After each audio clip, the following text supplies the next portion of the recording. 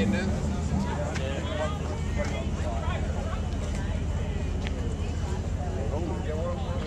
up today, before the start of the race, will be uh, our grid walk, located in the front straight and it's off approximately from here.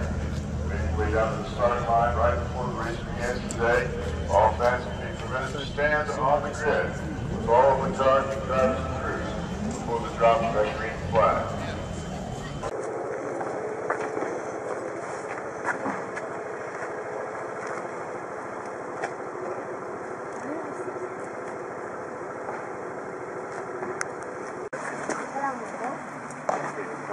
contrato que